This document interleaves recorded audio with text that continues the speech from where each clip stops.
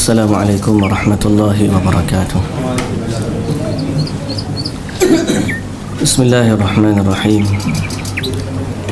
الحمد لله رب العالمين والصلاة والسلام على أشرف الأنبياء والمرسلين. نبينا محمد وعلى آله وصحبه أجمعين. رب اشرح لي صدري ويسر لي أمري.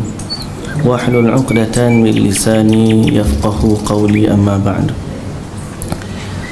Muslimin dan muslimat, hadirin dan hadirat sidang jemaah yang dirahmati Allah Subhanahu wa ta'ala sekalian Alhamdulillah kita bersyukur kepada Allah Di atas limpahan rahmatnya dan Allah memberikan peluang kepada kita sekali lagi untuk bincang Kitab Talbis Iblis Yang dengannya kita tahu dan kita nak belajar Tentang jalan-jalan tipu daya iblis dan bagaimana kita boleh menyelamatkan diri daripadanya. Dan walaupun bincang kita ni agak lahan lah kita baca sikit-sikit seminggu tu dua tiga bab macam tu sajalah. Masa dia ada orang tak pandai dia kena mengajar cara tak pandai lagu tu ha, kadang-kadang setengah ustaz, ustaz kita buat daurah. Talbis iblis saya kata nak buat daurah ni tak tak mampu lagi kita ambil sikit-sikit tapi yang sikit tu biar kita dapat hayati dan kita dapat amalkan Alhamdulillah. Ha, kadang-kadang bimbang juga tengok depan ini Masya Allah ngaji hebat belakang ni. Ha.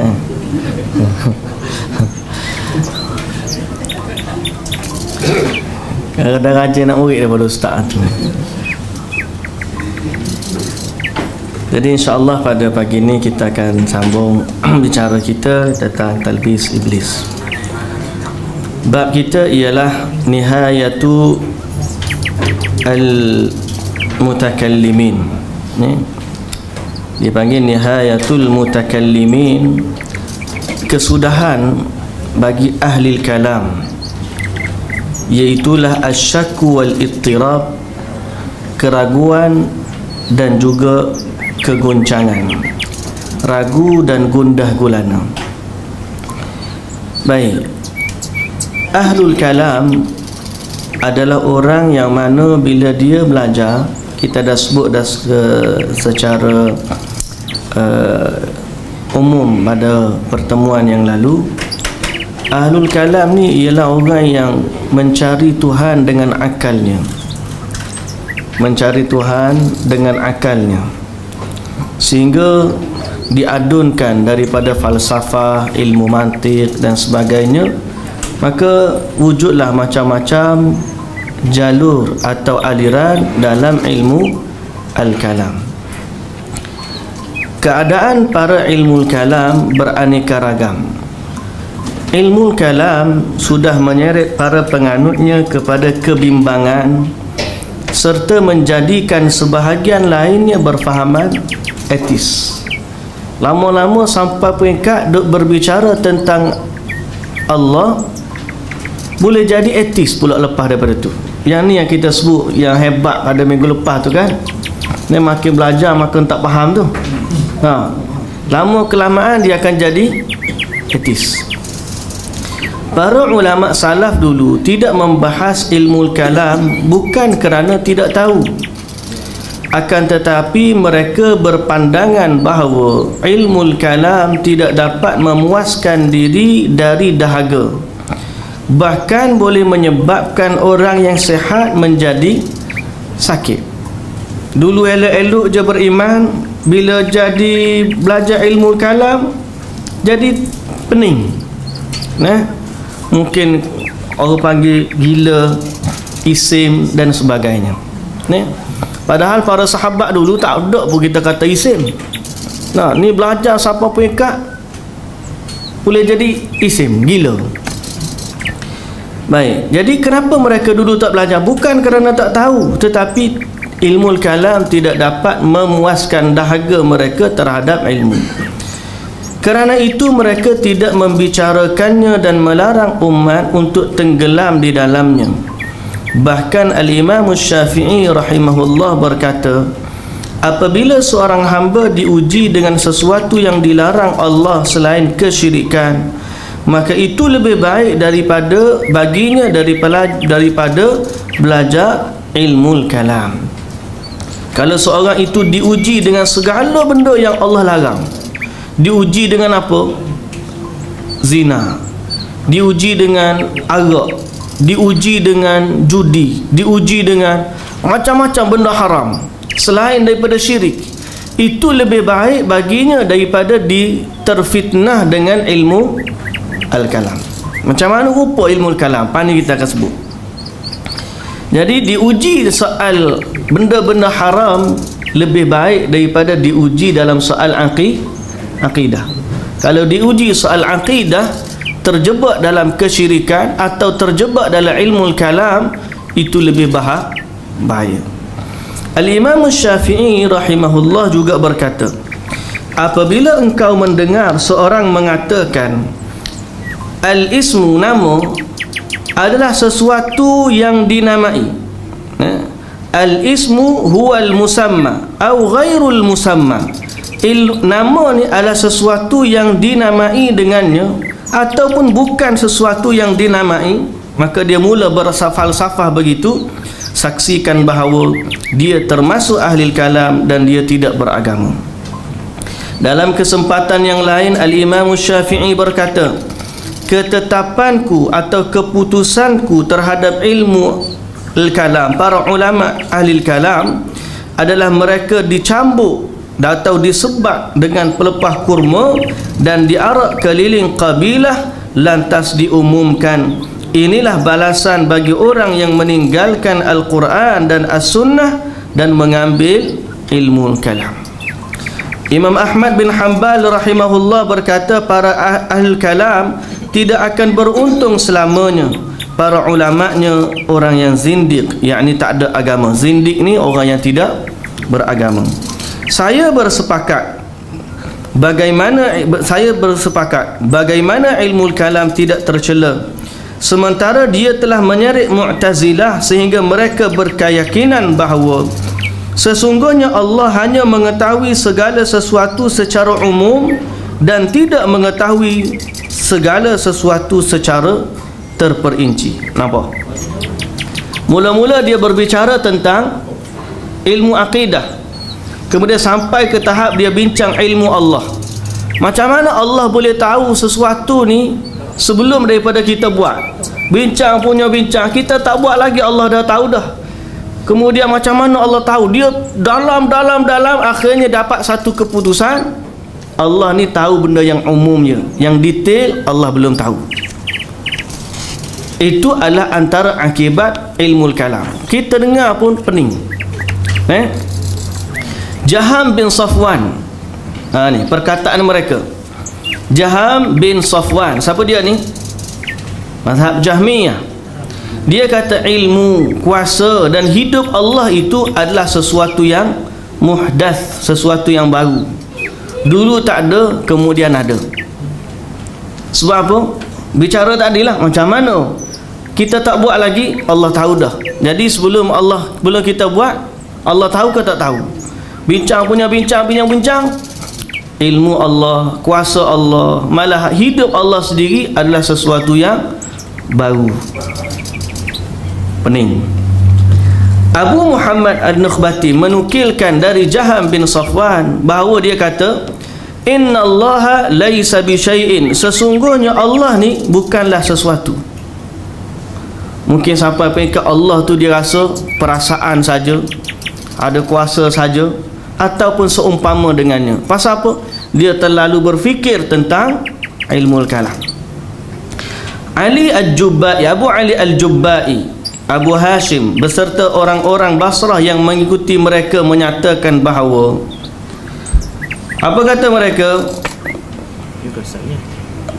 Al-ma'dum wa dhatu wa dhatun wa nafsun wa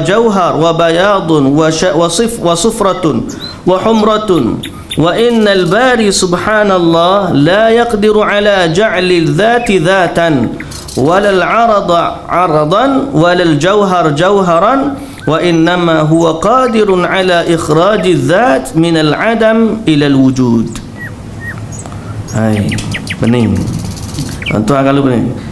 Ketiadaan itu al-ma'du benda yang tak ada sebenarnya dia adalah sesuatu. semua zat jiwa ne?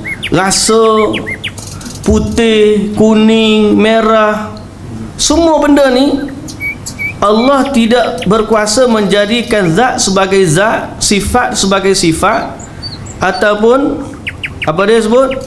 Jauhar kewujudan sesuatu sesuatu tu sebagai sesuatu tetapi Allah hanya mampu menciptakan zat dari tiada menjadi ada. Ah sudah. Kita baca apa pening dah. Eh? Tak ada tu sesuatu. Jadi Allah menjadikan daripada sesuatu kepada sesuatu yang lain, daripada ada daripada tak ada kepada ada. Tuan-tuan boleh ha? ni kata ngaji kalau kau tak faham. Al-Qadhi Abu Ya'la bertutur dalam kitab Al-Muqtabas Al-Alaf seorang pengikut Mu'tazilah dia berkata kepadaku Sesungguhnya kenikmatan ahli syurga dan siksaan ahli neraka adalah perkara yang Allah sifati sebagai sesuatu yang tidak boleh ditolak.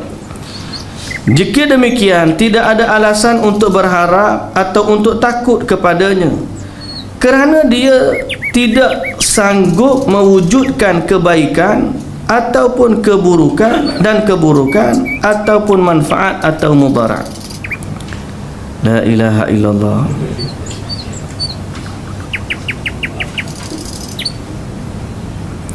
لنعيم أهل الجنة وعذاب أهل النار أمر لا يوصف الله بالقدرة على دفعه wala tasihhu ar-raghbatu hina idzin ilayhi wala ar-ruhbatu minhu لأنه la يقدر إذ Ala على خير ولا شر ولا نفع ولا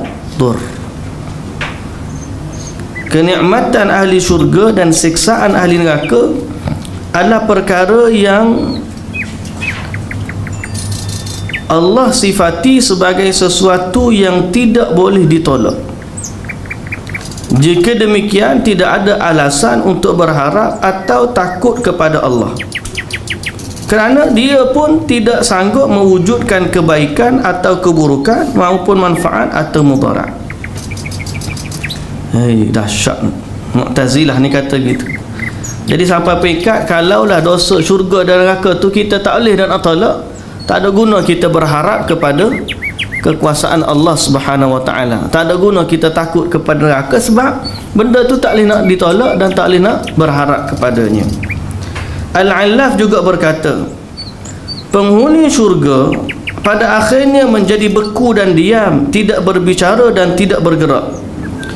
Mereka maupun Tuhan mereka tidak dapat melakukan apa pun kerana segala sesuatu yang terjadi pasti ada akhirnya terpasti pada akhirnya akan selesai dan tidak ada sesuatu apa pun setelahnya. Jadi kesudahan syurga ni apa penamak dia? Penamaknya semua akan beku tak gerak belaka. Pening lalu kita katakan maha suci Allah daripada apa yang mereka ucapkan. Sebab tu kita dah bincang sebelum daripada ni. Hadirin dan hadirat yang dirahmati Allah adanya tipu daya syaitan untuk orang jahil. Dia tipu dalam soal tak ada agama terus. Dan ada juga fitnah syaitan terhadap orang yang alim atau orang nak belajar maka dia tipu dalam uh, terjun ke dalam lembah yang tak patut sebenarnya dia bincang. Tapi dia masuk sehingga akhirnya dia sendiri pun tersesat dan tak faham. Qultu dia kata aku berkata siapa dia? Ibnul Jauzi Wa dzakara Abu Al-Qasim Abdullah bin Ahmad bin Muhammad Al-Balkhi. Mengungkapkan di dalam kitabnya Al-Maqalat bahawa Abu Hudzail namanya Muhammad bin Hudzail yakni Al-Allaf mempunyai pendapat aneh yang tersendiri. Di mana dia berkata penghuni neraka pada akhirnya akan berhenti bergerak dan mereka menjadi diam selamanya dalam kesempatan yang lain Al-Allah pun mengatakan bahawa sesungguhnya ilmu Allah adalah Allah itu sendiri. Dan bahawasanya kuasa Allah adalah Allah itu sendiri.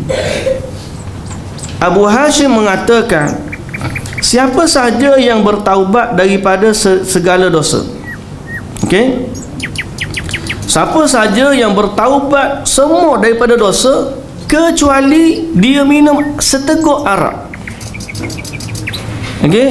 Fa innahu yu'adzab. Dia diazab seperti azab yang diperuntukkan terhadap orang kafir selamanya. An-Nazam berkata Allah tidak mampu menciptakan kejahatan sedangkan iblis mampu menciptakan kebaikan menghadirkan keburukan dan kejahatan.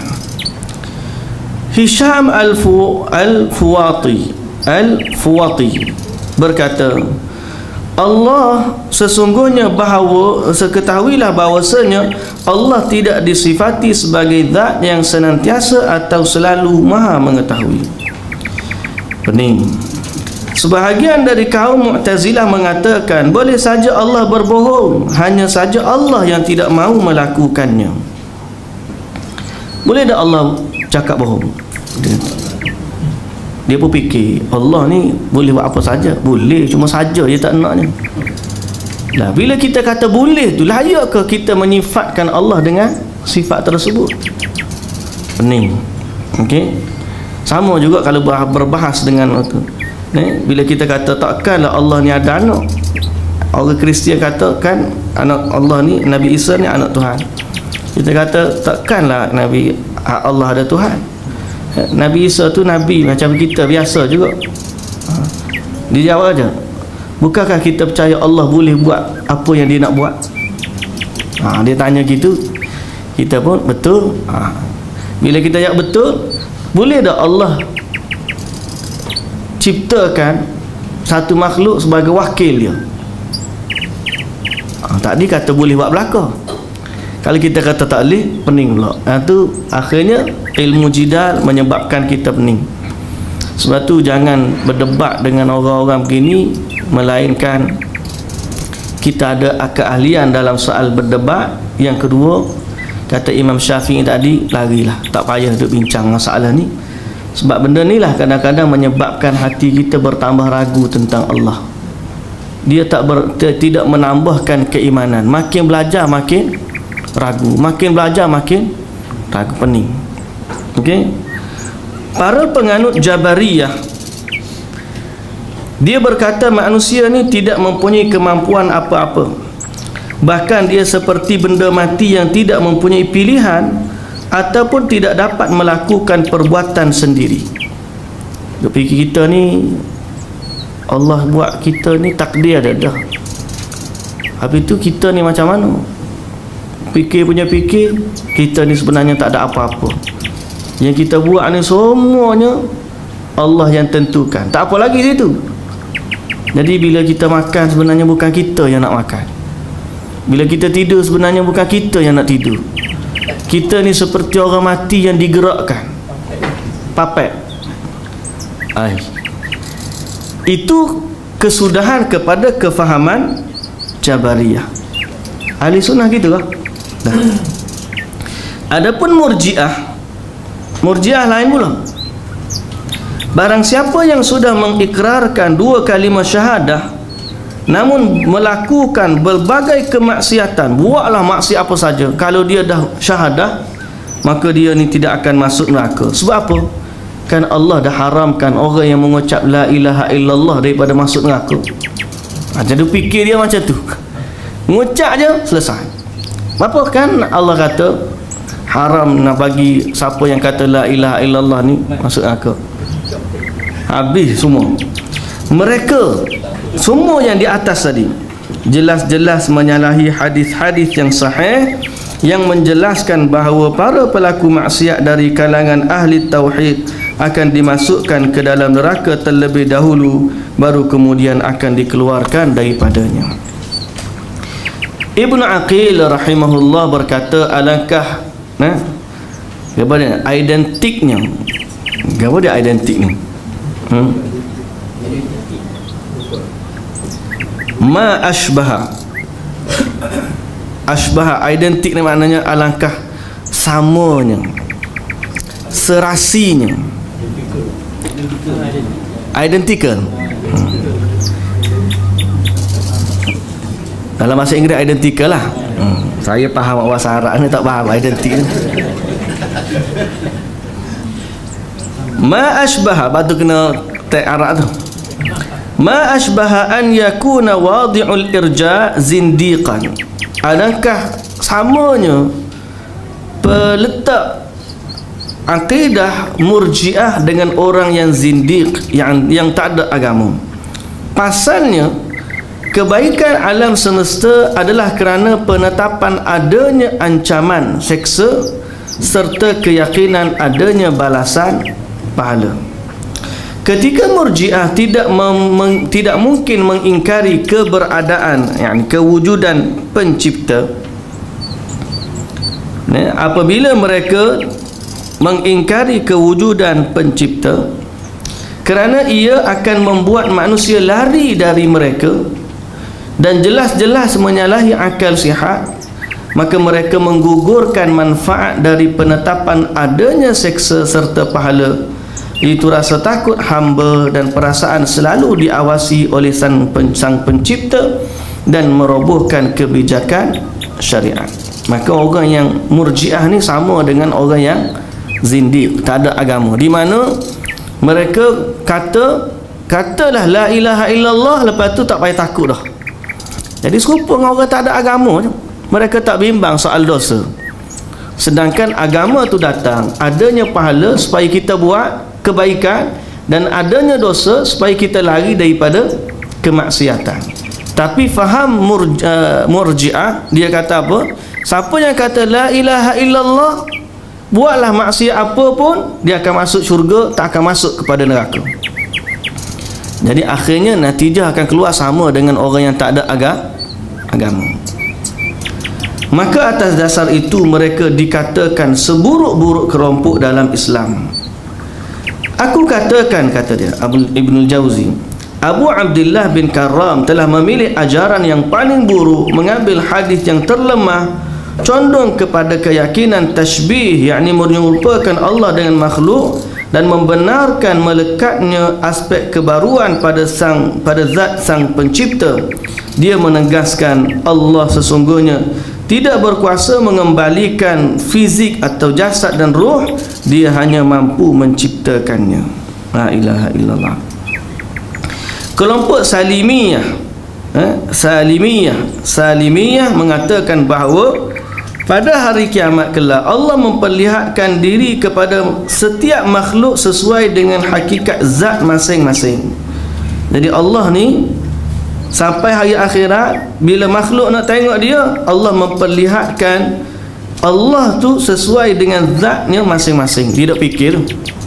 Manusia akan melihat Allah sebagai manusia sedang jin melihat Allah sebagai jin. Gila kalau kita kata orang ni. Kalau jumpa orang gini memang kita kata gila gila. Eh? Dia sebenarnya dia tak tahu mereka semua ni ahlul kalam bila berbicara dia berbicara dalam keadaan dia tak tahu. Sebab tu kita katakan panduan kita ahli sunnah wal jamaah ni yang merehatkan kita kepada Allah, kepada iman ni ialah Quran dan juga sunnah nanti kita akan sampai kepada satu perkataan eh, lepas kejap lagi mana kita sampai? Kelompok ini pun berkata Allah memiliki rahsia. Dan seandainya dia mengungkapkannya nescaya pengaturan alam semesta akan batah berkata Ibnul Jauzi aku berlindung kepada Allah dari teori-teori. Yang dia ada adalah teori-teori. Dia dah fikir-fikir keluar satu teori. Fikir-fikir-fikir keluar satu teori. Yang dia ada adalah teori-teori dan ilmu-ilmu yang memunculkan ajaran buruk ini. Jadi kata Imam Al-Jauzi, aku beli Ibnu Al-Jauzi, aku berlindung dengan Allah daripada mereka ini. Ahlul kalam bila kita bincang dengan dia kata keimanan seorang hamba tak akan sempurna sehingga mereka mengetahui seluruh kaedah yang telah mereka susun. Dia susun kaedah bagaimana akidah dia. Dia susun susun susun tapi susunan itu adalah dengan teori dan juga akal manusia. Jadi Allah ni kalau nak turun ruang ni ada ke tak? bila Allah turun masuk dalam ruang ni jisim ni begini zat tu begini. Ha, tu yang kata tengok tiang ni zat ke sifat tu? Tengok tiang ni zat ke sifat? Ah sudah sampai ada yang kata siapa yang kata dia sembah Allah dia sesat. Dia sebenarnya menyembah zat Allah Ta'ala. Ah sudah. Ada. Jadi ni sebahagian daripada ilmu al-kalam.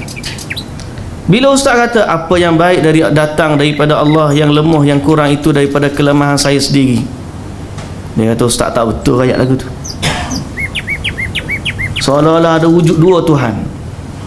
Hak baik daripada Allah hak kata ustaz ni tak Tuhan ke kita ah bagaimana pula? Sedang Allah Ta'ala kata dalam Quran ma asabaka min hasanatin famin Allah wa ma asabaka min sayyi'atin famin nafsik. Apa yang datang daripada kebaikan dari Allah? Apa yang datang dari keburukan daripada dirimu? Bukan kata kita mencipta keburukan tersebut tidak yang baik yang buruk semua datang daripada Allah. Cuma tidak dinisbahkan keburukan itu kepada Allah.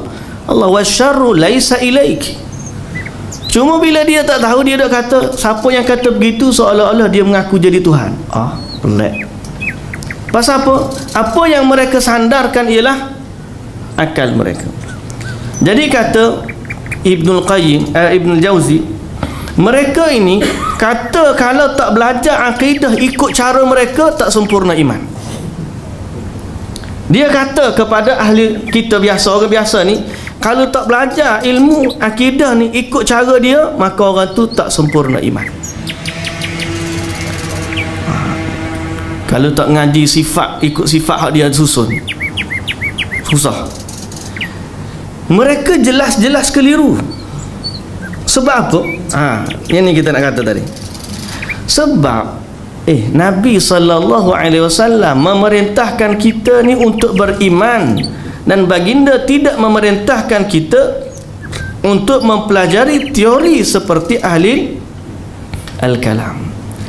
Nabi sebenarnya tak suruh pun kita bincang begitu. Yang Nabi suruh kita beriman kepada Allah bahkan para sahabat yang telah dipersaksikan oleh Allah dan Rasulullah sallallahu alaihi wasallam sebagai sebaik-baik manusia pun berjalan di atas jalan tersebut yakni jalan i, iman Batu kalau orang kata akidah para sahabat ni akidah apa? Eh?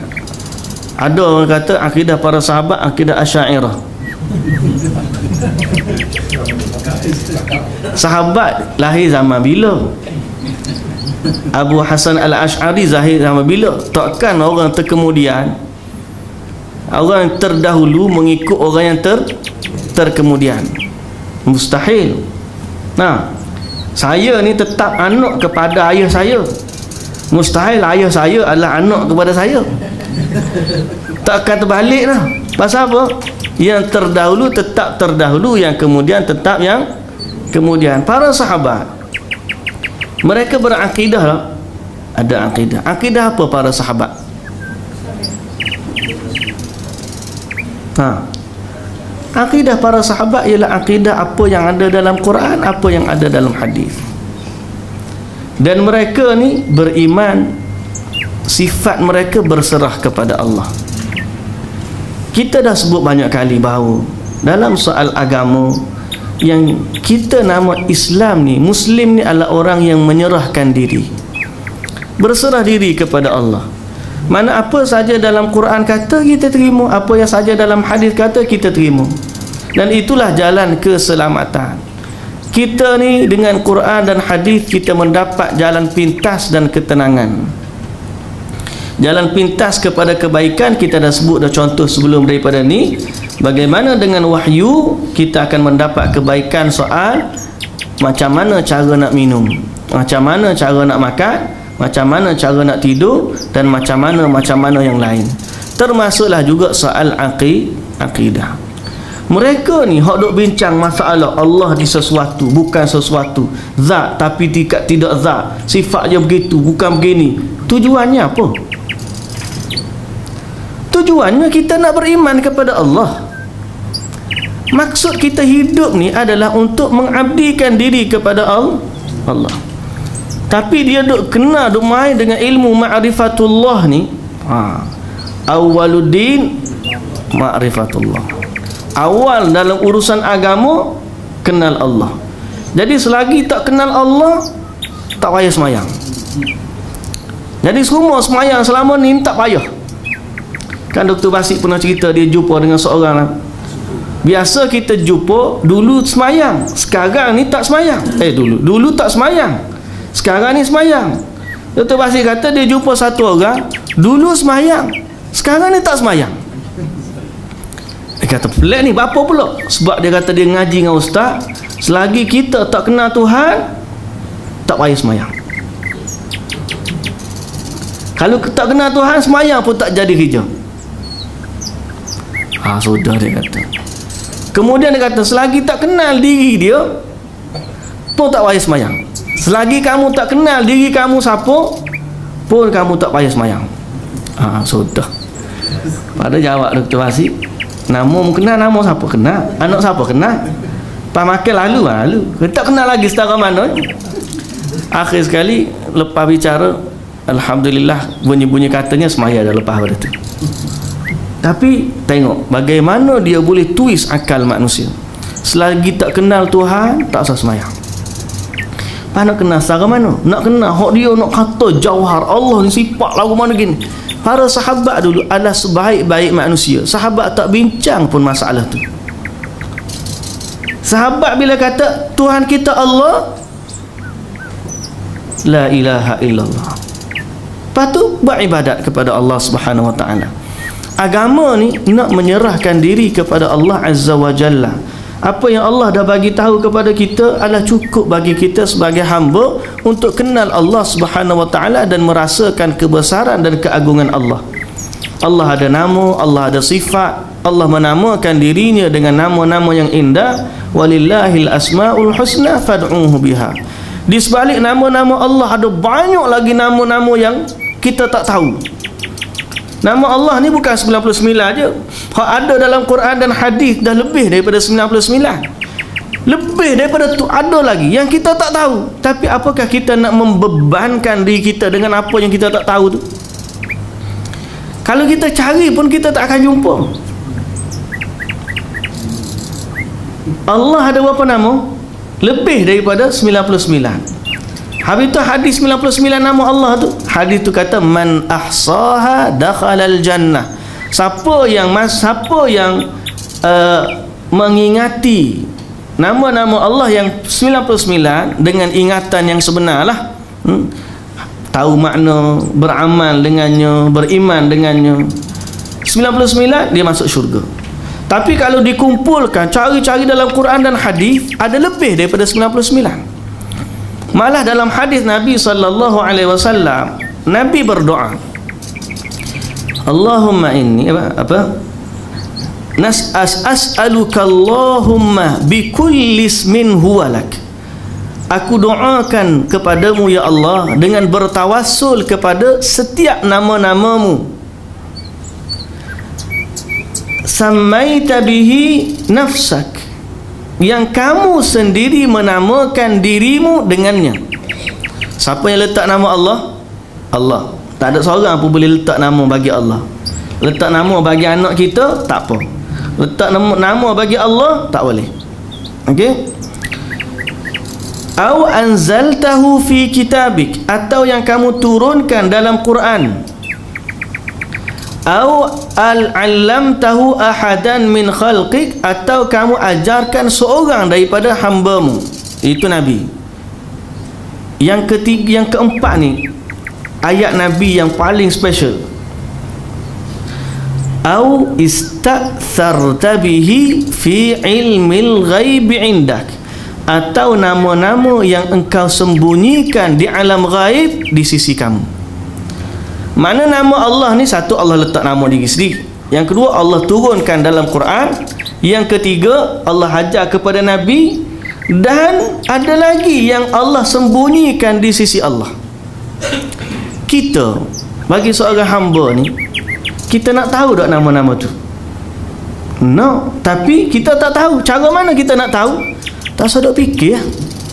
kita takkan dapat tahu sehingga Nabi SAW pun kata sampai di hari akhirat waktu Nabi nak minta syafaat dengan Allah Nabi akan berdoa bersujud kepada Allah Azza wa Jalla dan Nabi akan puji Allah dengan pujian yang tidak pernah Allah dipuji dengannya melainkan di saat itu Allah ilhamkan kepada Nabi sallallahu alaihi wasallam. Kita nak beban ke akal kita nak fikir apa yang Nabi akan sebut? Tak perlu. Nama kita ni Muslim adalah berserah. Apa yang Allah bagi tahu itulah kehendak Allah untuk kita. Apa yang Allah bagi tahu kepada kita itulah kehendak Allah dengan kita. Saya ambil contoh mudah nak suruh faham. Silibus matematik ni banyak atau tak banyak? Banyak. Eh? Ada matematik ada matematik tambahan. Boleh sampai peringkat PhD pun masih lagi matematik. Kita nak ngajar al- algebra apa penipal dah. Di saat cikgu tu ajar kepada kita sesuatu yang dia ajar apakah menjadi kesalahan bagi anak murid tu tak tahu apa yang cikgu tak ajar? Saya bagi contoh je tu. Ne? bukan kata Allah ni supaya cikgu dah. Nak bagi contoh analoginya begitu. Di saat seorang cikgu ajar kepada kita silibus darjah 6 apakah menjadi kesalahan bagi budak darjah 6 tak tahu apa yang budak tingkatan 6 tahu? Nah sebab itulah kehendak cikgu waktu dia ajar. Sama seperti analogi itu kita nak faham. Allah ada nama-nama yang banyak. Tapi yang Allah bagi tahu kepada kita setakat tu je Apakah menjadi kesalahan kalau kita tak tahu nama-nama Allah yang Allah tak ajar kepada kita? Allah berkehendak untuk ajar kita hak tu, maka kita terima ayat apa yang Allah berkehendak. Kita ni selepas daripada beriman kepada Allah, bukan nak tunjuk pandai dengan Allah. Selepas kita beriman kepada Allah, nak tunjuk kita ni tunduk dan patuh kepada Allah apa saja yang datang daripada Al-Quran datang daripada Al-Hadis Alhamdulillah. Sama sampai kita lah ni pun. Kita hanya beramal dengan apa yang kita tahu dan kita mampu. Di saat belum sampai kepada kita sesuatu hadis kita beramal sekadar istihad yang ada pada kita. Tapi bila kita tahu menjadi kewajipan kita untuk tunduk dan patuh kepada kehendak Allah dan juga Rasul iaitu Al-Quran dan juga al-hadis. Tapi apa yang kita tak ada, tak ada, kita tidak dibebankan dengannya. La yukallifullahu nafsan illa wus'aha. Ayat ni bukan sekadar kemampuan fizikal, malah kemampuan a- akal. Allah tahu kadar mana dia nak ajar kepada kita. Lalu dia ajarkan kepada kita nama-nama dan sifat-sifat dia kita beriman dengannya kita perlu dok fikir macam mana Allah ni zat dia ni jauhar ke tak jauhar. Sifat dia lagu mana dan lagu mana. Allah ni dulu tahu tak tahu macam mana. Keakhiran manusia. Allah, nah, para sahabat mencapai darjat keimanan bukan dengan ilmu kalam. Para sahabat mencapai darjat kemuliaan sebaik-baik manusia selepas Rasulullah sallallahu alaihi wasallam dan selepas para nabi-nabi yang lain para sahabat dapat title kemuliaan itu ialah dengan tunduk dan patuh mereka kepada Al-Quran dan juga As-Sunnah termasuklah dalam soal aqi aqi Adapun mengenai tercelanya ajaran ahli kalam sudah sudah kami sebutkan huraiannya di atas.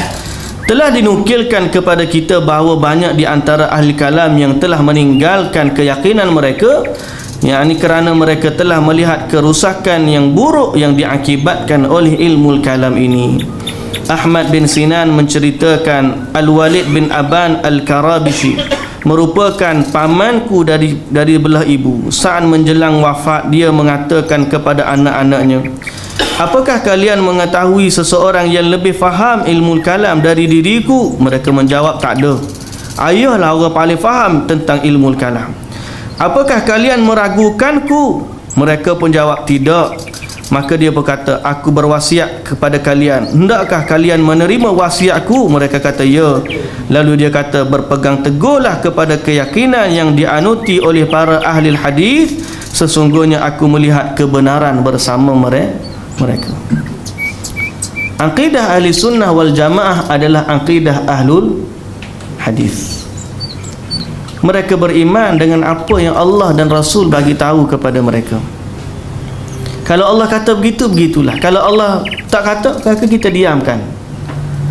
Sebab apa? Itulah yang Allah nak bagi tahu kepada kita. Dan kita beriman kepada Allah dengan apa yang Allah bagi tahu.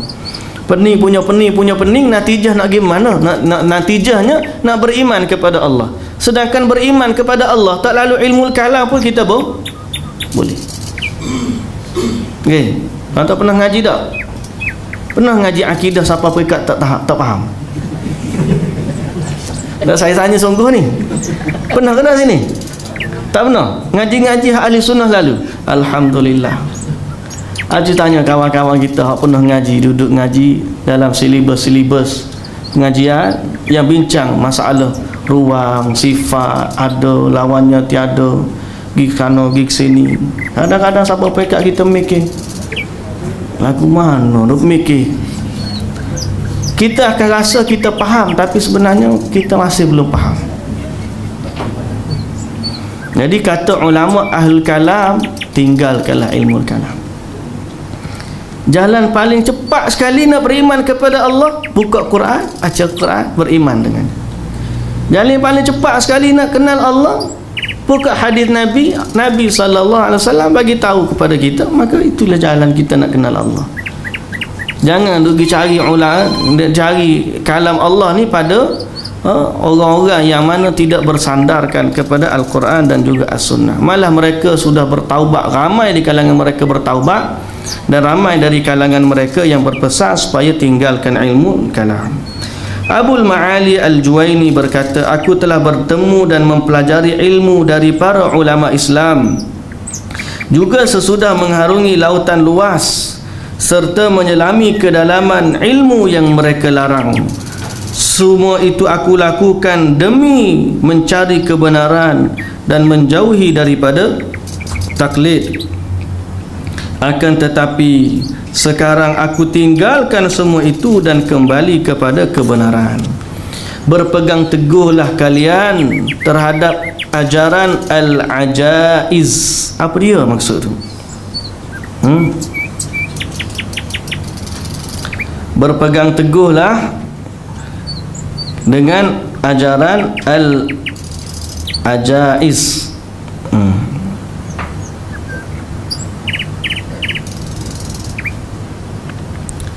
Ajaiz ni sebenarnya kalimah tu merujuk kepada orang-orang yang lemah.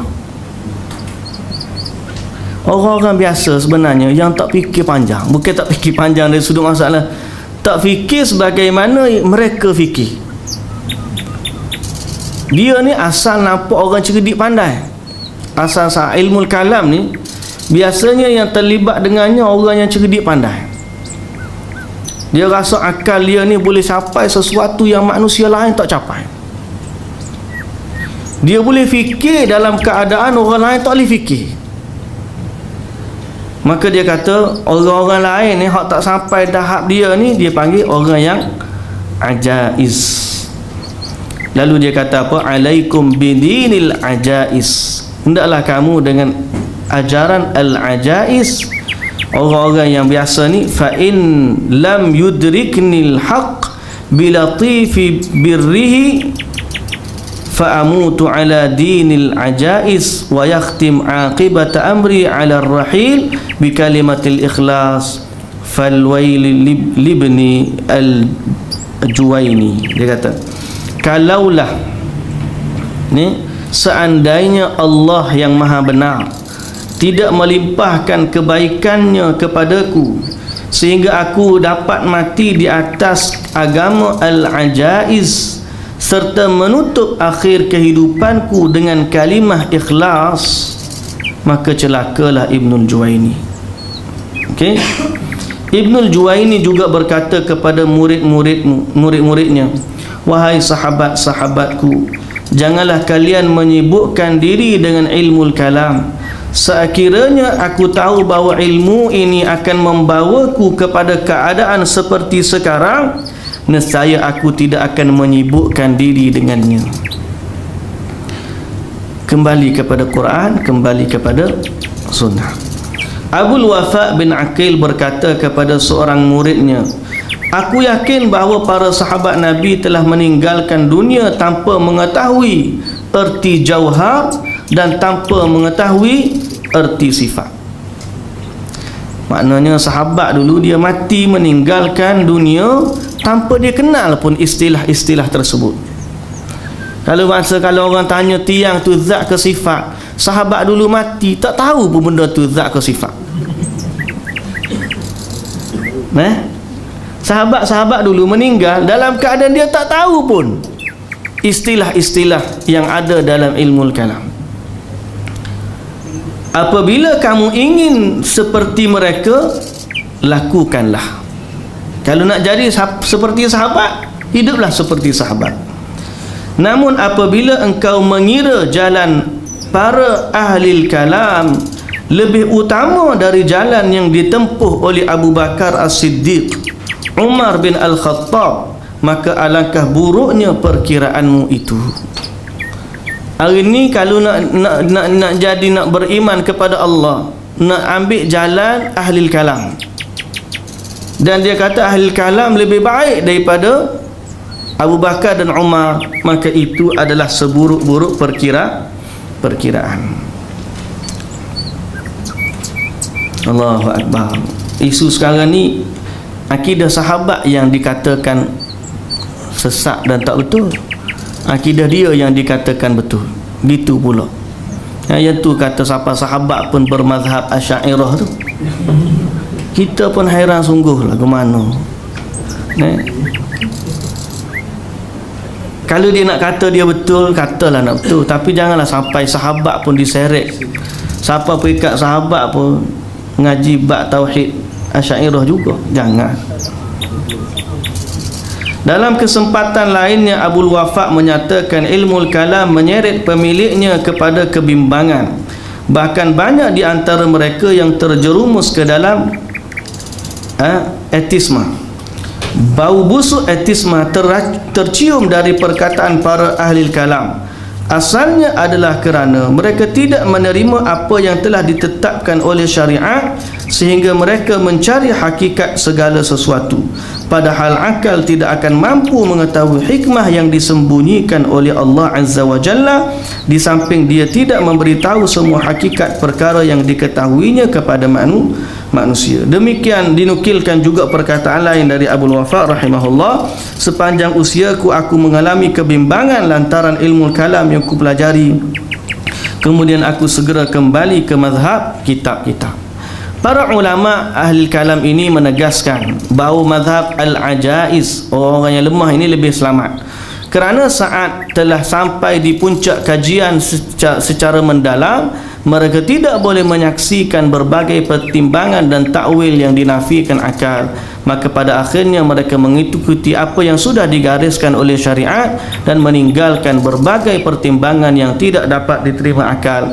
Sementara akal mereka tunduk mengetahui bahawa di balik syariat ada hikmah ilahiyah yang hanya diketahui oleh Allah sehingga dia pun tunduk terhadap syariatnya jadi kita ni kena satu mikir dalam bab mengenal Allah ni akal kita ni tak sampai. banyak rahsia-rahsia yang ada pada Allah Azza wa Jalla yang Allah tak perlu bagi tahu kepada kita yang Allah Ta'ala nak kita ni tunduk dan patuh kepada Allah Subhanahu wa Ta'ala ne? tunduk dan patuh kepada Allah Subhanahu wa Ta'ala itu saja kalau kita boleh faham itu Alhamdulillah masalahnya orang tak rasa cukup dengan apa yang Al-Quran bawa dia rasa tak cukup dengan apa yang hadis bawa.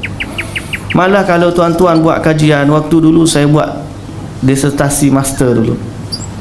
Buat kajian dalam kelas. Kita buat kajian terhadap hadis-hadis dalam bab akidah dalam kitab-kitab Melayu. Ha, hadis-hadis berkaitan akidah dalam kitab-kitab Melayu jawapannya sangat-sangat sedikit. Jawapannya sangat-sangat sedikit. Kita nak cari nak cari selidik nak korek balik hadis-hadis akidah dalam sumber akidah berbahasa Melayu. Orang kita jarang bincang akidah berkaitan dengan berpandukan hadis. Buka kitab-kitab Jawi cari. Bukan kita nak kata semuanya begitu? Dah tapi masyarakat kita ni mungkin dia rasa dia lebih senang kalau nak beriman dengan cara begitu. Padahal kita kata jalan yang lebih baik adalah kita kembali kepada Allah dan juga Rasul. Macam mana Allah kata kepada kita macam mana Nabi SAW kata kepada kita. Jadi cukuplah perkataan-perkataan sedikit yang kita ambil yang disebutkan Ibnul Jauzi daripada daripada mereka tentang perkara-perkara yang menyebabkan akal kita pening nak fikir tadi. Okey? Cukuplah kita kata Allah itu apa yang ada dalam Quran Allah bagi tahu kita beriman dengannya. Apa yang Nabi sallallahu alaihi wasallam bagi tahu kita beriman dengannya. Lebih daripada tu kita kata wallahu a'lam. Okey? Talbis iblis terhadap mujassimah ada sejumlah orang yang hanya melihat sesuatu yang lahir lantas mengatakan membawanya sesuai dengan sesuai dengan tuntutan panca indera mereka. Ya.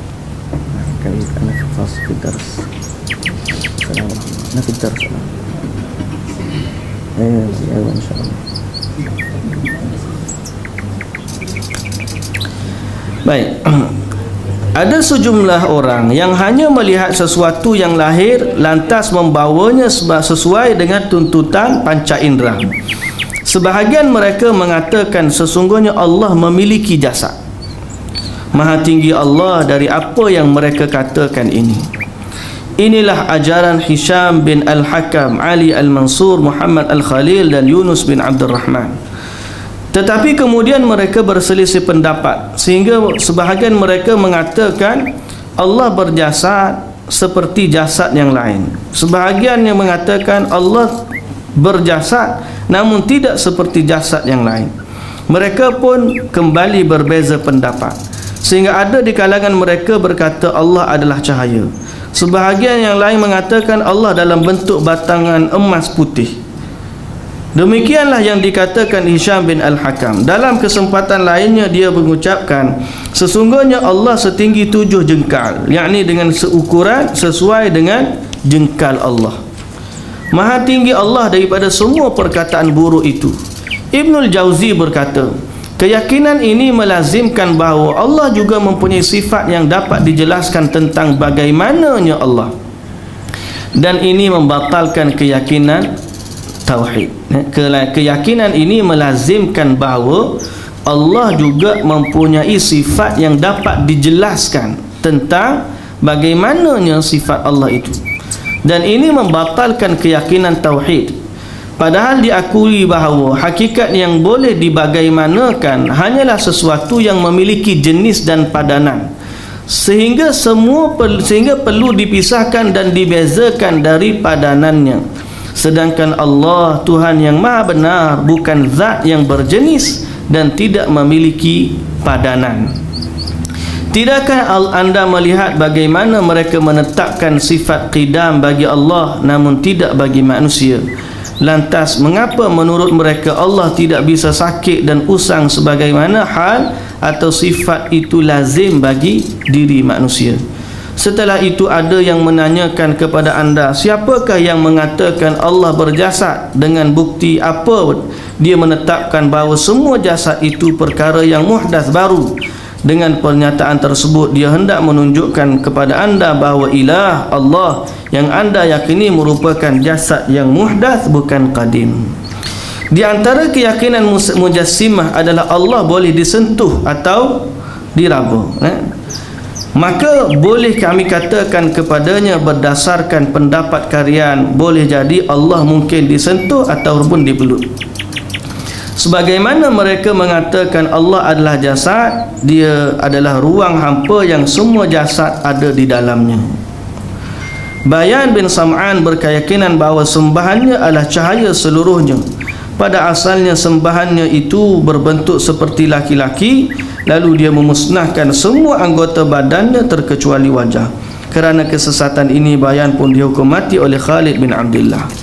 Al-Mughirah bin Sa'ad Al-Ijli mempunyai keyakinan bahawa sembahannya terwujud berwujud uh, seorang lelaki yang terbentuk dari cahaya yang mengenakan mahkota dari cahaya.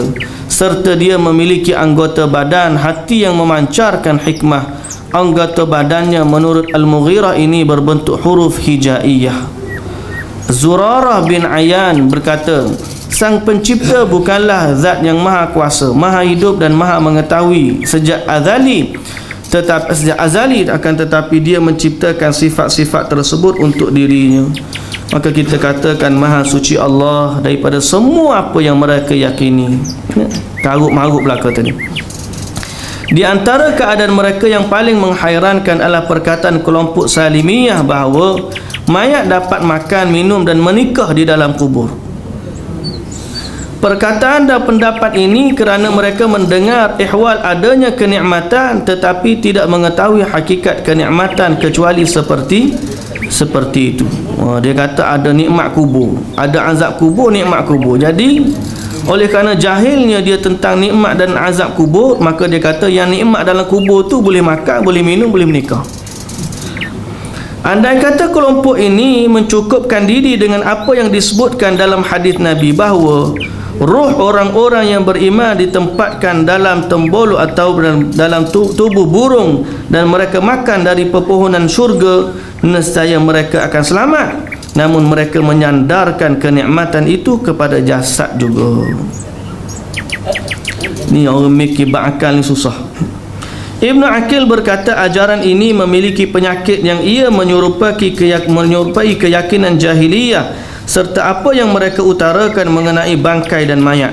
Berbicara dengan mereka sepatutnya dilakukan dengan lemah lembut agar hati mereka menerima bukan dalam konteks berdebat kerananya tindakan konfrontasi ini justru akan menyebabkan mereka bertambah rusak ataupun tersesat. Iblis mengacukan keyakinan kelompok ini kerana mereka tidak mahu mencari penafsiran yang sesuai dengan dalil syar'i dan dalil akal. Ketika disebutkan bahawa mayat akan mendapat nikmat atau azab, maka diketahui bahawa penyandaran nikmat atau azab kepada jasad dan kubur adalah pernyataan seakan-akan dia menyatakan pemilik kubur ini dan ruh yang ada di jasad ini diberikan nikmat dengan kenikmatan syurga atau diazab dengan azab neraka. Allahu Akbar. Kita kalau baca bab ni pun kita bimbang. Takut-takut Bila kita baca Kita setan mari Ah betul juga. Ah tu susah tu. Hmm. Bahaya. Talbis iblis ni Kadang-kadang kita kena tengah-tengah baca Tak betul tu. Dia mari kata betul juga. Itu ah, bahaya. Jadi tuan-tuan kembali kepada jalan keselamatan kembali kepada Quran kembali kepada sunnah. Okey kita bimbang di saat sebagaimana yang berlaku uh, kepada orang-orang yang asalnya nak pergi tujuan dia sendiri pun nak berjidal nak berje, nak berdebat dengan orang-orang ahli kalam.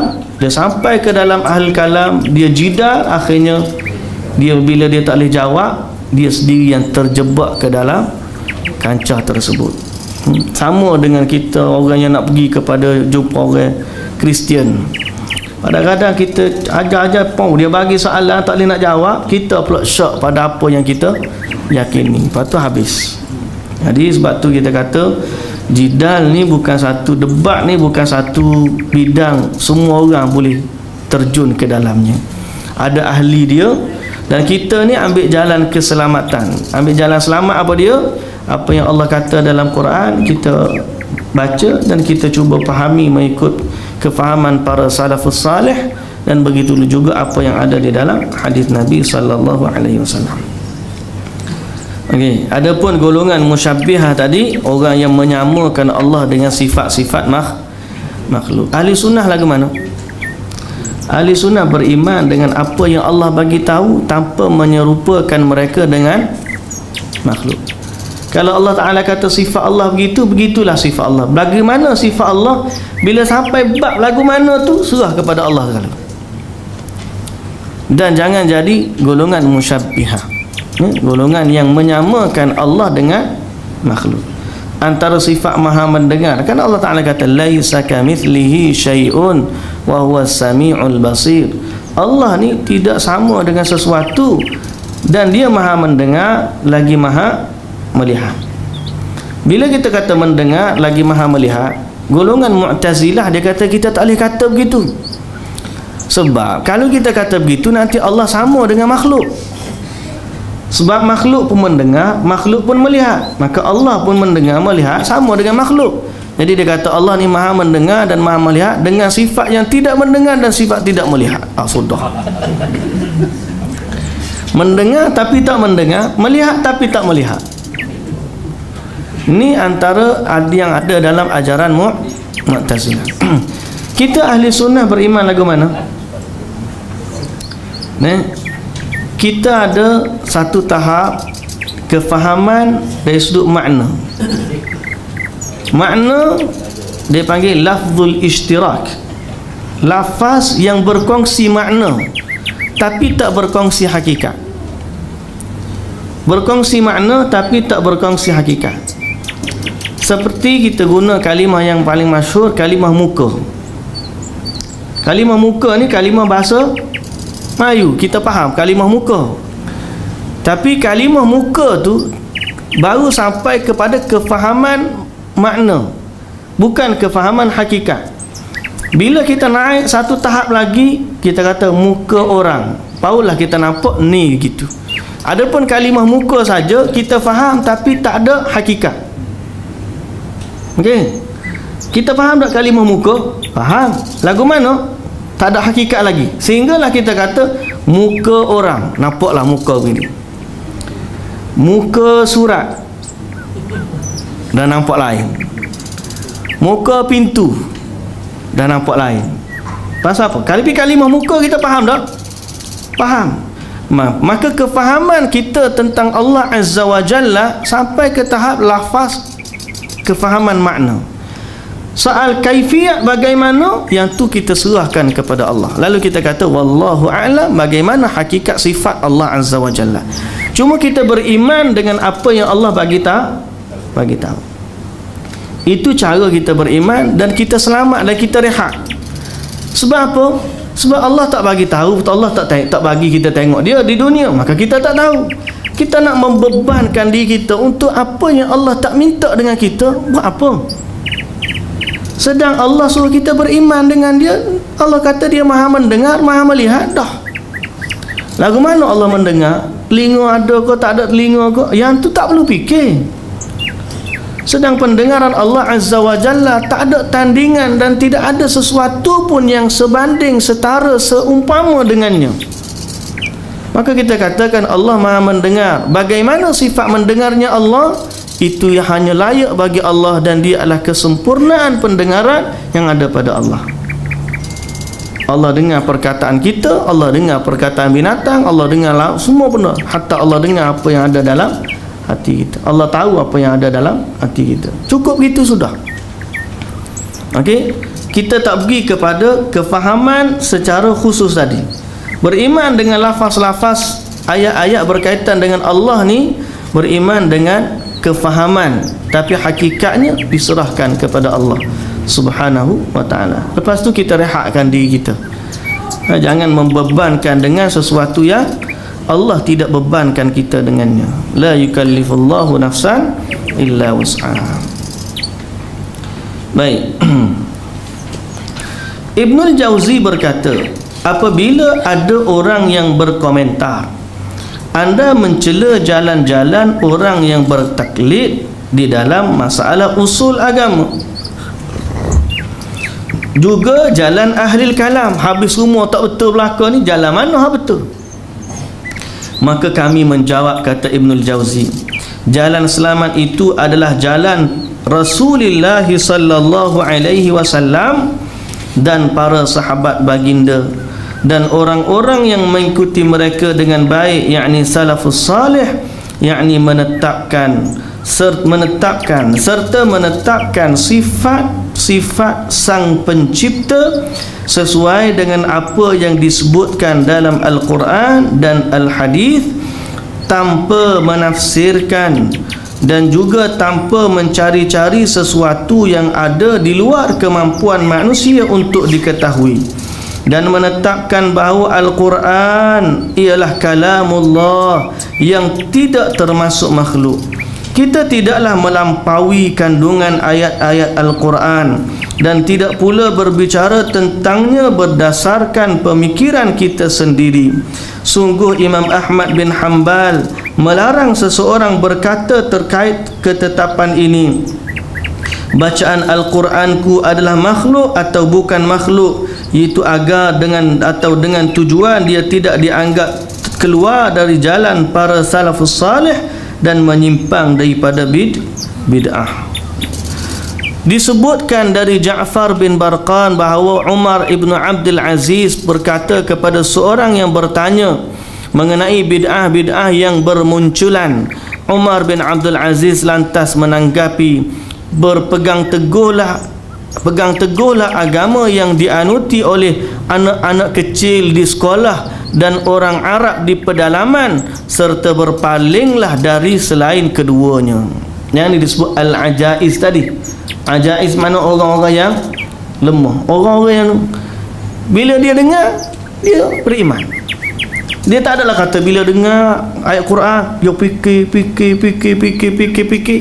Itu bukan sifat para sahabat dalam beriman eh, nak cari hakikat. Dia panggil ilmu hakikat.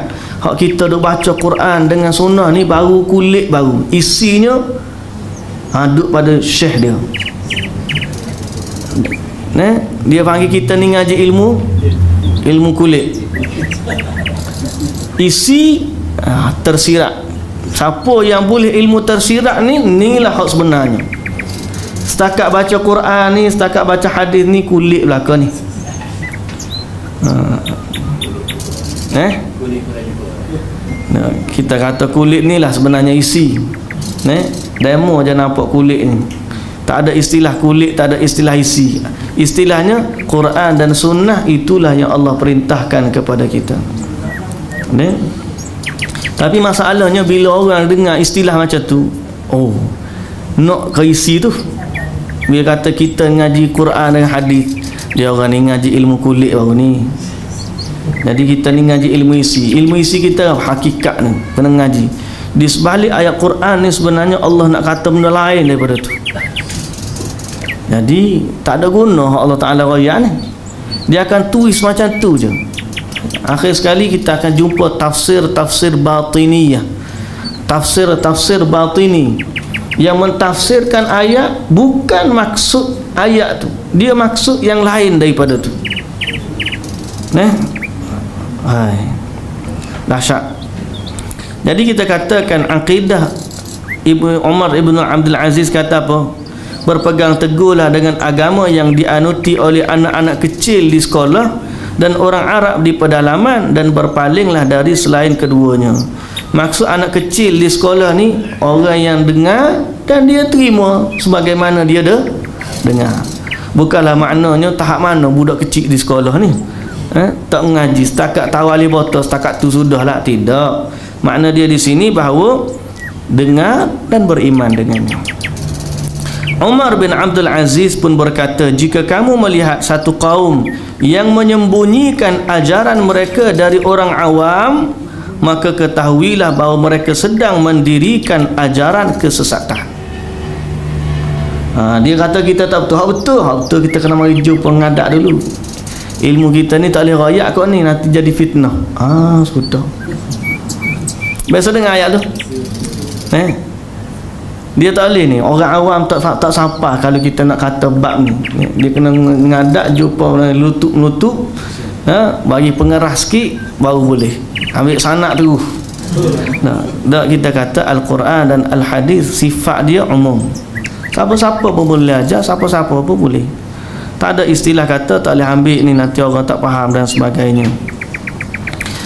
Kalau dia ni mula menyembunyikan ajaran dia daripada orang awam maka ketahuilah bahawa mereka sedang mendirikan ajaran sesat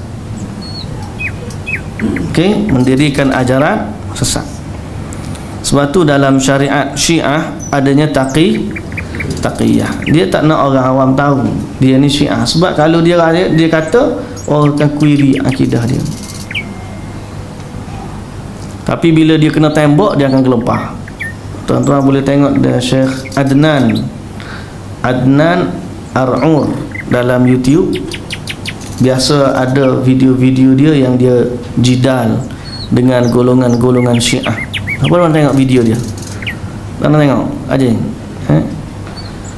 antara yang dia sebut tentang syiah ni dia kan dia tak nak terima uh, Muawiyah. Eh? dia tak nak terima Muawiyah dari kata Muawiyah zalim dan sebagainya juga tobat Muawiyah macam-macam. Dia ambil sudut berbeza. Dia kata al-ismah kalau kamu kata maksum siapa yang maksum? Syiah tu kata ahli uh, alul bait. Sekarang ni kamu kata alul bait maksum. Okey. Siapa dia yang dimaksudkan dengan alul bait? Keturunan Rasulullah. Okey. Al-Hasan bin Ali. Abang kepada Husain. Termasuk alul bait ke tak masuk? Masuk. Jadi kalau Hasan tu termasuk maka dia maksum betul tak? Tu. Sekarang ni kalau dia maksum maka yang dia buat benda tu tak salah lah betul tak? Tu. Sekarang ni yang bai'ah Muawiyah Hasan bai'ah ke tidak? Ha sudah dia pun gelepar. Nak jawab Hasan bila dilantik jadi khalifah dia letak jawatan dan dia bai'ah Muawiyah sekarang ni yang bai'ah Muawiyah ni adalah Hasan sekarang Hasan buat salah ke tak salah ah uah uah uah. Dia tak dia tak akan boleh punya. Bila ajaran tu kalau tak bertapatan dengan Al-Quran dan Sunnah dia akan jadi bertentangan. Kalau dia nak kata Hasan buat salah bertentangan dengan akidah di maksum tadi. Nah kalau dia nak kata Hasan betul bertentangan dengan akidah dia tentang Muawiyah jadi nak pergi depan tak boleh. Nak undur belakang tak boleh jadi pening lah. Akhir sekali Wahabi. Gitu je lah. Dia tak boleh nak kata ni macam-macam. Jadi tuan-tuan yang dirahmati Allah Azza wa Jalla kembalilah kepada Al-Quran dan juga Sunnah. Itu jalan selamat daripada talbis iblis. Umar menulis surat kepada salah seorang pegawainya Aku berwasiat kepadamu agar selalu bertakwa kepada Allah mengikuti sunnah Rasulullah. Indahnya kita dengar berimanlah kepada Allah ikutlah petunjuk Rasulullah sallallahu alaihi wasallam. Indahnya di saat kita memahami kemanisan petunjuk yang Allah turunkan kepada hamba-hambanya dan Umar juga berpesan tinggalkan perkara-perkara baru yang diada-adakan oleh ahli bid'ah sepeninggalan baginda dan ketahuilah bahawa siapa saja yang menerapkan satu sunnah secara di, seraya dia mengetahui bahawa sesuatu yang menyalahinya adalah salah keliru dan juga berlebihan maka sesungguh sungguh orang-orang salaf terdahulu pun bersifat menahan dan mencukupkan diri darinya berkat keilmuan dan ketajaman pandangan mereka dalam riwayat lain dari Umar disebutkan bahawa padahal mereka lebih mampu menyingkap berbagai perkara. Tidak ada yang mengada-ngadakan perkara baru kecuali orang yang tidak mengikuti jalan atau tidak suka terhadap mereka. Namun ada sejumlah kaum yang kurang hormat terhadap mereka sehingga menjadi hina. Ada juga yang terlalu memuja mereka sehingga bersikap berlebihan baru ni kita belajar kitab Adda wa Dawa mungkin ramai yang ada ni pun dengar juga di Adda wa Dawa di Muslim Mustaqim kita baru ni. Tentang kita ni bila nak pilih kita pilih antara dua. Di saat kita suka sesuatu kita tak akan tinggalkan benda yang kita suka melainkan ada benda yang lebih kita suka daripada yang pertama. Terang kita tak akan tinggalkan sesuatu yang kita suka melainkan ada benda yang lebih kita suka daripada perkara yang pertama. Jadi sekarang ni apabila berkaitan dengan soal akidah seorang tu tidak akan meninggalkan kefahaman dia dalam soal uh, ahli kalam sehinggalah dia mencintai Quran dan hadis lebih daripada yang lainnya. Sebab tu kita nak suruh faham kepada masyarakat ni betapa petunjuk daripada Allah ni adalah sesuatu yang sangat-sangat istimewa sesuatu yang sangat-sangat membahagiakan. Sesuatu anugerah daripada Allah kepada hambanya di saat kita tak tahu apa-apa tiba-tiba Allah tunjuk jalan kepada kita. Maka itulah jalan keselamatan dan itulah juga jalan kenikmatan. Baik. Ada soalan nak tanya? Ya. Ahli syurga hmm. ini beri nikmat kekuatan Allah. Hmm. Apa yang dia nampak? Jasad ke berat? Ha, tu soalan bahaya tu. Ahli syurga nanti ahli akhirat dia akan melihat Allah. Dia nampak zat ke? Dia nampak apa? Jasad. Jawapan dia wallahu a'lam ha, tu jawapan dia panggil super ilmiah. Jawapan paling ilmiah. Kita kata wallahu a'lam tapi kita beriman bahawa kita akan tengok Allah. Cukup setakat tu pun okey dah. Dengar? dan kalau kita kata Nabi SAW kata kamu akan melihat Allah sebagaimana kamu melihat bulan purnamu. Makna jelas kamu akan tengok. Apa yang nanti kita akan tengok? Wallahu a'lam dan Nabi juga bagi tahu sifat bila kita tengok kita akan lupa kepada nikmat syurga. Jadi yang kita boleh berpada dengan tu cukup ah, tu lah.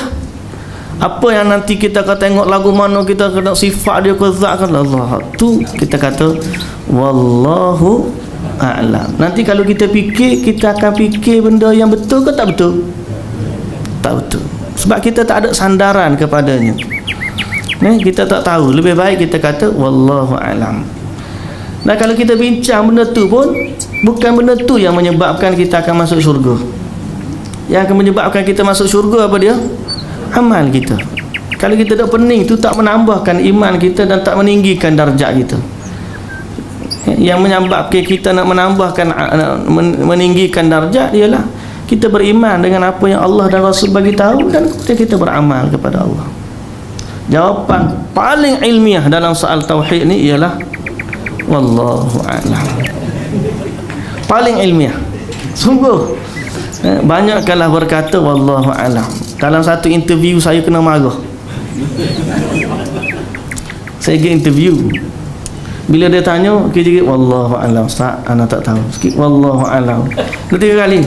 Ustaz anta ni lagu mana nak jadi imam ni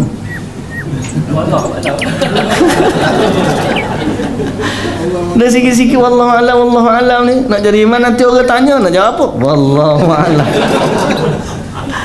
Kena marah. Kena kata Allahu Akbar. Payah juga orang marah. Kita kata Wallahu Alam pun kena marah.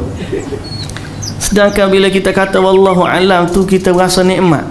Nikmat bila kita kata Wallahu Alam. Sebab Wallahu Alam bukan maksud Allah tak tahu kita tak tahu. Kita kata Allah lebih tahu. Maknanya kita ada satu ilmu di situ ilmu kita ialah kita menyerahkan urusan itu kepada Allah bila kita kata wallahu a'lam, sebenarnya kita ada ilmu. Apa ilmu kita? Allah lebih tahu.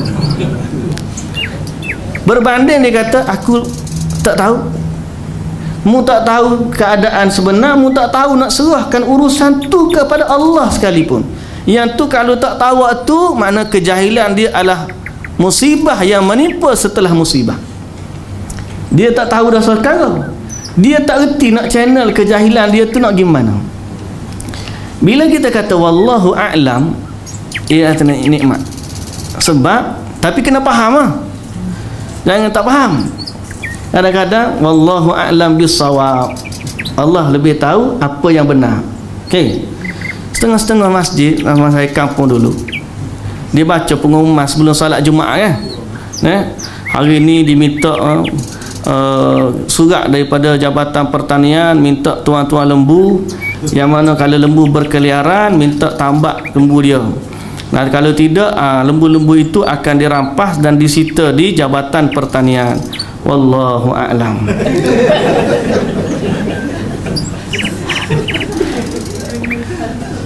Dia pernah dengar awak itu? Eh? Biasa. Sampai sekarang ada lagi. Dia sebenarnya dia kata wallahu a'lam dalam ayat tu dia sendiri tak tahu maksud wallahu a'lam. Eh? Wallahu a'lam bisawab bukanlah ayat penutup. Bukan ayat penutup. Orang anggap bila habis kata sesuatu wallahu a'lam. Maknanya ayat penutup. Dia bukan ayat penutup. Dia adalah satu ilmu di mana kita mengangkat benda yang kita tak tahu kepada Allah. Bila orang tanya kita soalan ni, kita boleh jawab, saya tak tahu. Saya tak tahu satu. Wallahu a'lam, Allah lebih tahu. Itu maksud dia. Jadi patut kita kata super ilmiah tadi.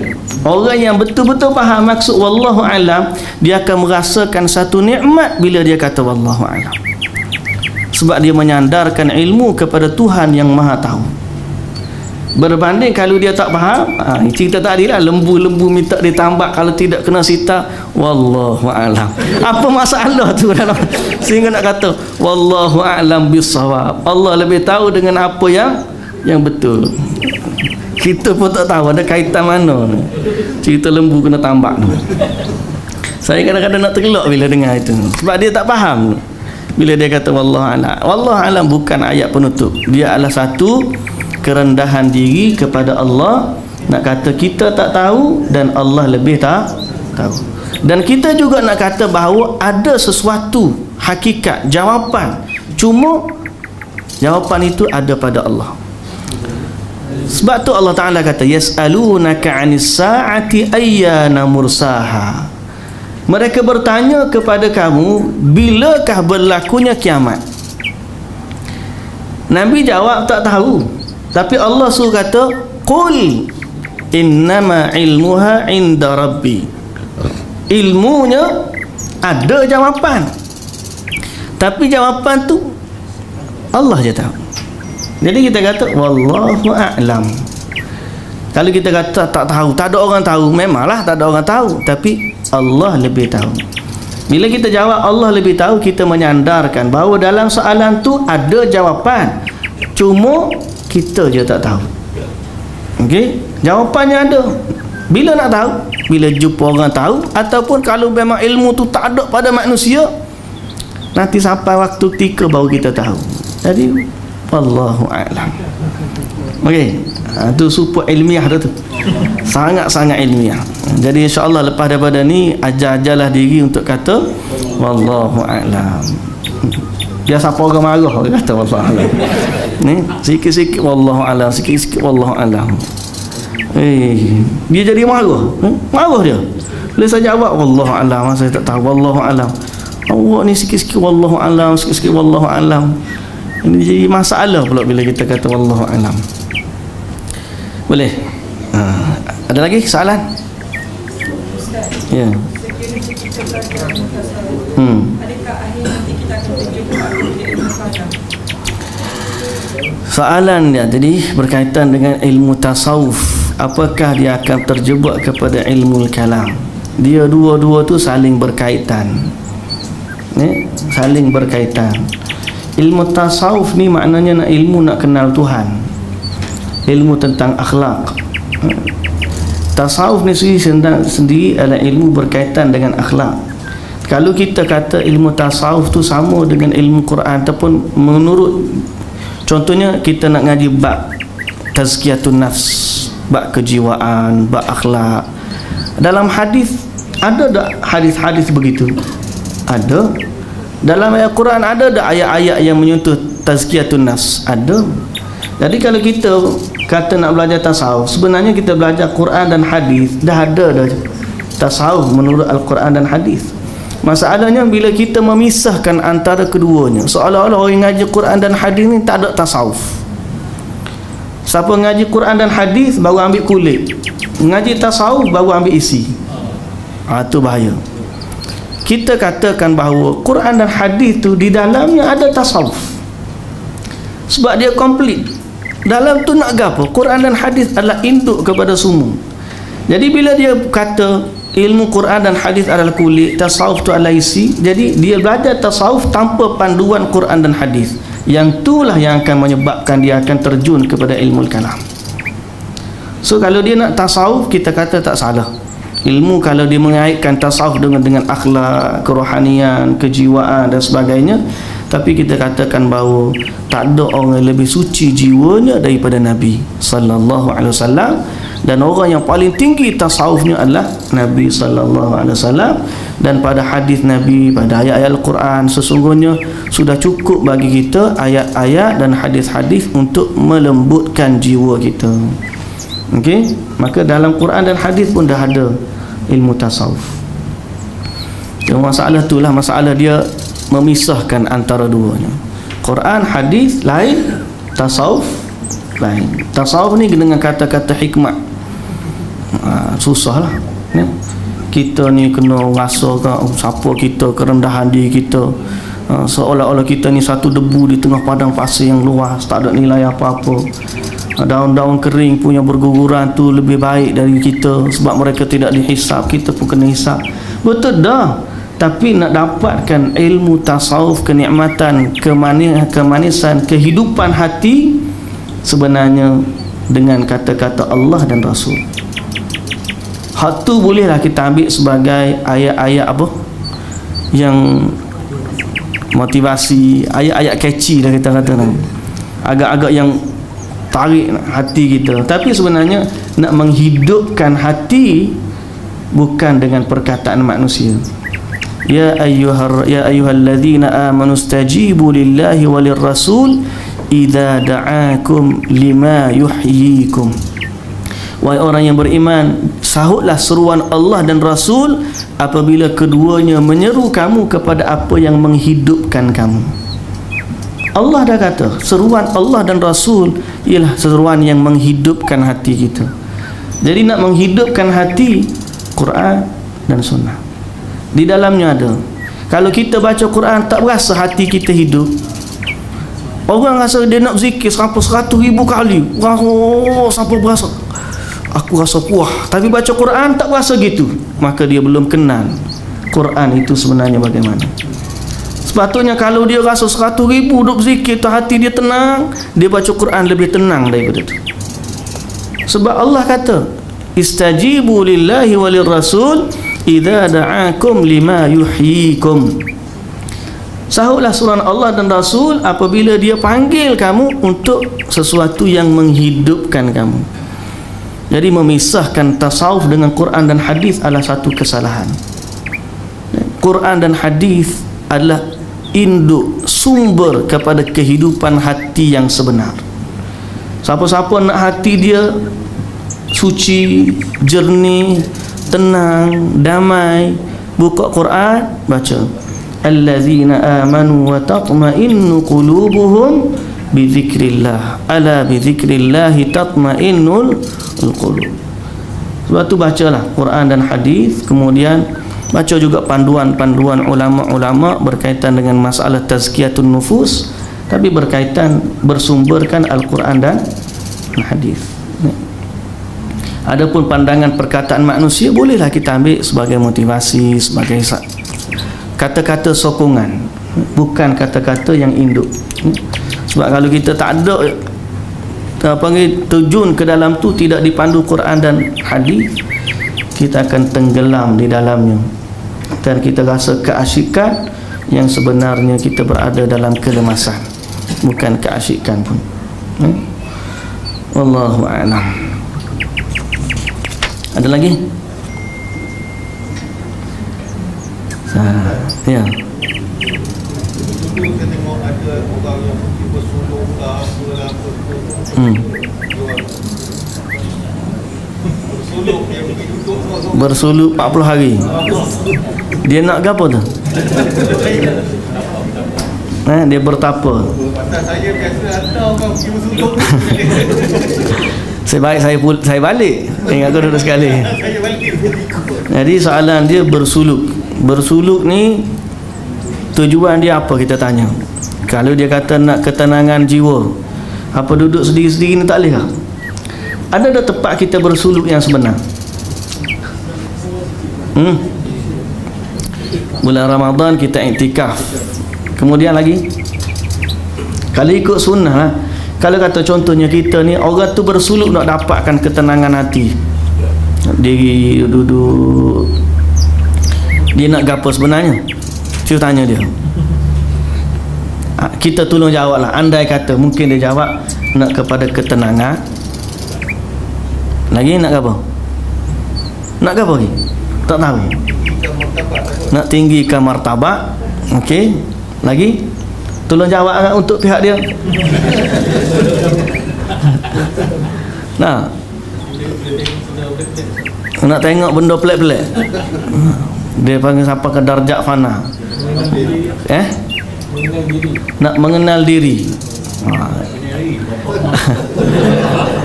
Okey. Andai kata ni lah ada poin-poin yang kita kata dia dengan dengan bertapa tadi dia nak. Allah kata dalam Quran. Ne? Cuba kita bandingkan ayat Quran. Inna nashi'atal lailihi ashaddu wat'an wa aqwa muqila. Surah Al-Muzammil.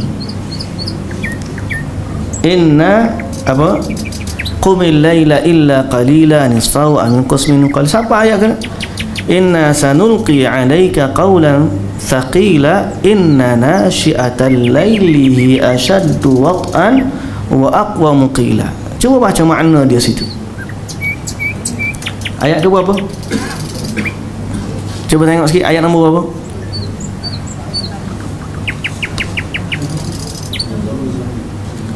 Surah al-muzammil Juzuk yang keberapa surah Muzammil? 29.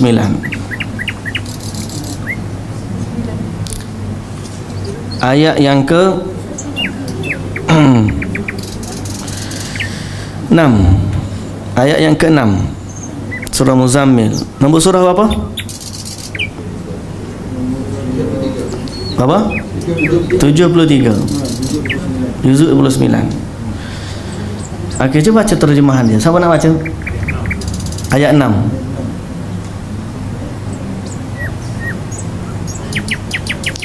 Siapa nak baca terjemahan dia? Ha.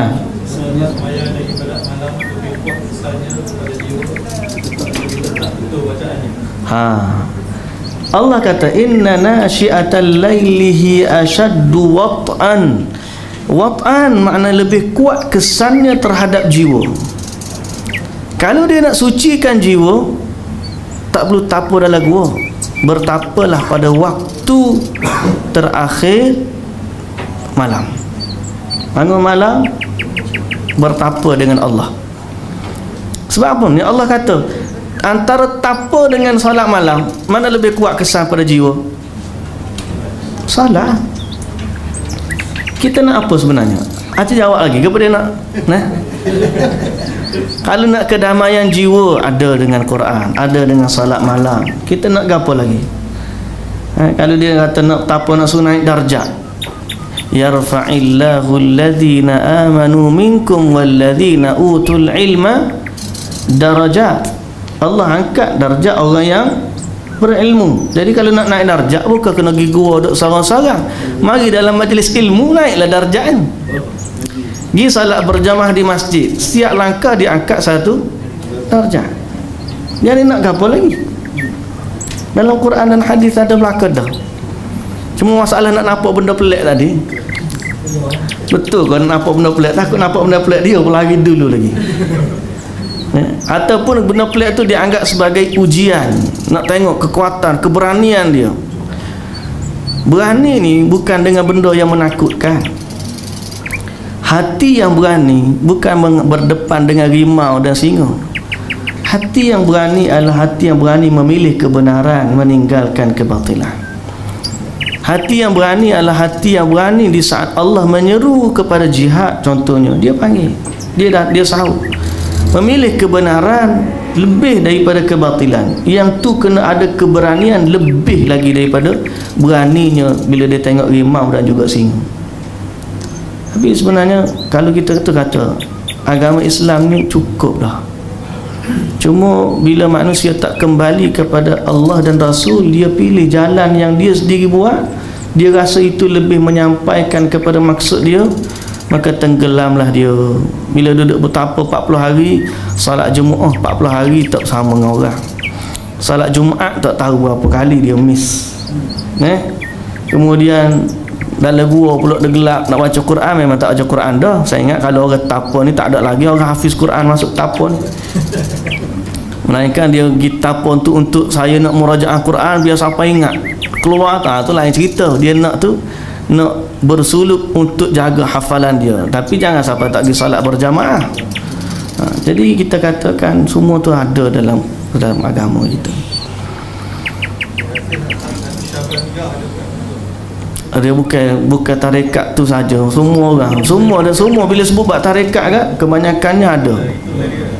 Semuanya kebanyakannya ada. Sebab suluk-suluk ni jalan orang yang menganggap dirinya kepada apa kesucian jiwa saya kata macam ni lah dia ambil istidlal dia mungkin sebab Nabi dulu bersendiri dalam gua Hira istidlal dia mungkin sebab Nabi dulu bersendiri dalam gua gua Hira.